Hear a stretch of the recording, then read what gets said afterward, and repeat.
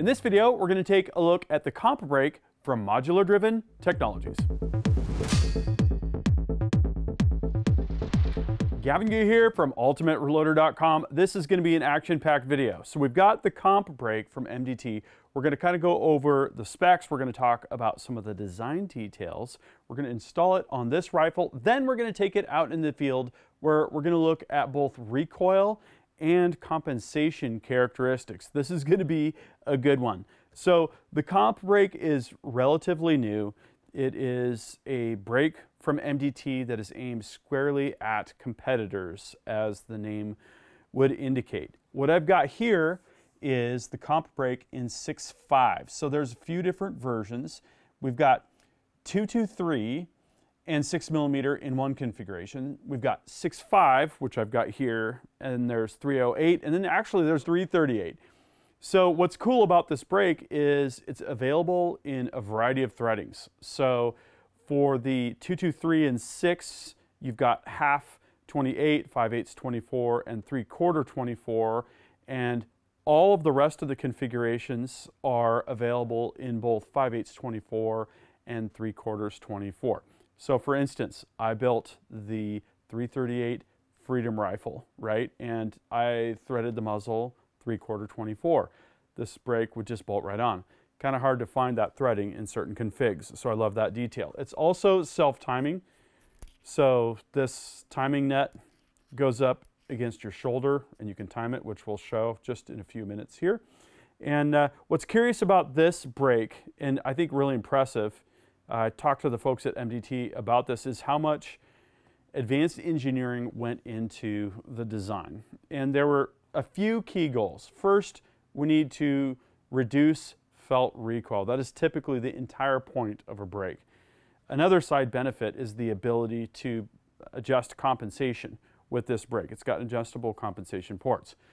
Compensators keep muzzle rise down. And so typically how you do that is you vent gases upwards, that pushes the muzzle downwards, and if you get things just right, you'll have fairly neutral muzzle characteristics in terms of muzzle rise. That's a good thing. So I'll show you here real quick. What you can do is loosen these two Torx screws and then you can actually move this plate. And the plate has uh, a port change that you can affect by moving the plate up and down, right? You can seal it completely off. You can have just a little bit of, of narrow uh, compensator port showing, or you can have it pretty much wide open. So why is that important?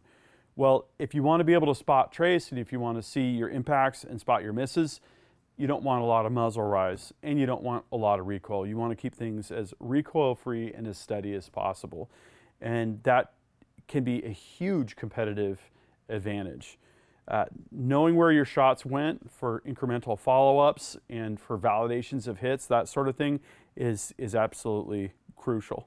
The other thing that's interesting about this design is the ports. It's a four port design and MDT used some advanced fluid dynamics modeling like finite element modeling in, in CAD software uh, to be able to analyze how to break up the blast wave, right? That concussion that you feel slapping you in your face. And actually, after a while, it can be so bad that it can give you a headache. Just try 50 BMG, right? You'll get there in a few shots. Well, if you're shooting a PRS match, you can you can definitely get that with something like, you know, a six Creedmoor or a 308, whatever it is you happen to be shooting. So lots of engineering, lots of really fine design details. I kind of like the two-tone with the green. It's kind of a unique looking brake. Okay, so that's kind of a bit of a tour and an overview of the specs and features. Next, let's get it installed on my rifle. So when it comes to this kind of job, I like to use a vise, and this is pretty much the best vise you're gonna find. The orange vise, it's got special jaws that work with ARCA, so we can basically just clamp the rifle down, and then hopefully the level is close enough. I'm gonna use the scope cap. You can see where that's cutting the bubble in half, basically, on the line on this side. So I'm gonna go for the same thing when we put the brake on. So I'm gonna Put some TW25B grease on the threads. 5 8 24. This is pretty much a standard threading for your 6.5 Creed type stuff. We've got the nut all the way against the, the brake. This shoulder nut, we're going to screw it on and see where that lands. Okay, obviously that's not where we want it. We have to back it off until we are close. I'm going to have it a little bit on this side, and then we're going to rob the level. And this does not need to be as exact as something like a scope reticle. And we're just going to tighten it until, yeah, that is great. Perfect. Okay, and I tightened down the screws. I've got the compensator ports fully open. We're ready to go shooting. So shooting with the comp brake on this rifle was awesome. I did a couple different types of shooting and it's a little bit hard to quantify, but I, I, do think I felt a reduction in that concussive force that comes back from a conventional brake. Now, the ideal way to test that would be to do an entire PRS match where you've got a round count approaching 100 rounds or 80 rounds, whatever that happens to be, depending on the course of fire that you are participating in. And what I did then was to shift to my scientific testing with our recoil rig. Now, let me explain this recoil rig. It was originally inspired by the design and basically Cal Zant from the Precision Rifle blog laid out the blueprint for this. The whole goal is to capture rearward forces at the buttstock at a high enough data rate to be able to quantify very concretely and very repeatably the recoil over time for a variety of different scenarios, different cartridges, different rifles, different buttstock rubber compounds, different muzzle devices like suppressors and brakes. We've done quite a bit of testing now and we've proven that this rig is really the only way that you're going to see what happens instantaneously. You're going to see a lot of sort of sled tests or pendulum tests. Those might be good at capturing sort of the overall net recoil result in terms of what we would call area under the curve, but there really is a lot more to the story. So the recoil rig is a steel frame. We've got a load cell and data acquisition system that captures data at 20,000 force readings per second. This is high enough resolution to see what's interesting about recoil for a particular setup. And we started with the bare muzzle and got a baseline. And we get some interesting things here, including the curve that you can see here, and then we can very easily derive things like peak forces. Peak forces for this particular rifle on the recoil rig was 745 pounds rearward. Then came the comp brake. You can see right here, we're cutting that recoil way down. Peak forces come way down, and then if you look at the area under the curve, that obviously comes way down as well. This makes a huge difference when you're behind the gun and driving it, especially off of something like a barricade when you're doing positional shooting. You want to be able to spot trace, you want to be able to spot your hits and misses, and, and also not get beat up, right?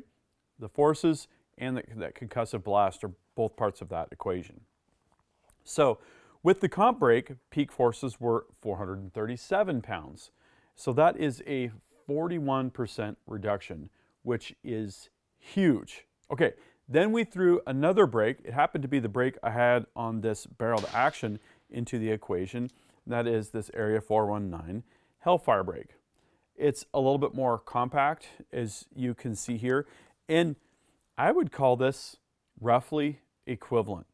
Peak forces were very slightly lower on the Hellfire. We're talking about 42% reduction compared to 41% reduction. So almost a completely equivalent result with regard to recoil itself.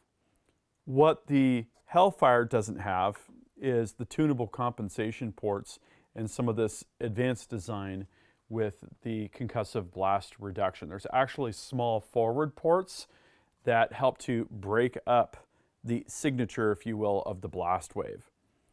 So, very interesting results, and every time I do testing with the recoil rig, it gives me new ideas. So, a couple things I'd like to do as an extension of this over time. We don't have all the equipment in house yet. The first is to test the compensation attributes of different setups a bare muzzle, a suppressor, a brake, and so on and so forth. How can we capture the muzzle rise. And I've got a number of different ideas about how we could potentially do that, all the way from the scientific laboratory setting to the real world shooting situation that you're going to actually use the rifle in, right? That is at the end of the day what matters most. Where the laboratory is helpful is where it's hard to get precise information out of that more qualitative field shooting shooting exercise. Okay. So those are a couple things and then also the sound level, right? With suppressors that's a key attribute of testing a suppressor. We don't have that capability in house. Simple methods of testing noise reduction are fraught with problems. So we're waiting until we can get a setup that is going to produce repeatable results and might not give you an absolute value, but in the same weather conditions with the same rifle with the same ammo could potentially give you a good comparison between multiple muzzle devices with the same ammunition shot through the same rifle in the same atmospheric conditions. That's the hope. But what really compels me about all this is the constant learning. The constant learning about new products, new scientific, you know, measurement methods, uh, building the rifles, all of that. So my question to you all is, what do you think of the comp brake? Do you have one? Have you used these compensator tuning ports on the top to fine tune how your rifle behaves? What are you using the comp brake for? Using it in competition like it's designed for? Are you using it for long range ELR type shooting? Are you hunting with it? drop a comment and let us know. Of course, make sure that you're subscribed with notifications because we've got a lot more MDT content coming up, a lot more scientific research and test data to share, that kind of thing. That concludes this video, and that means it's time to wrap it up.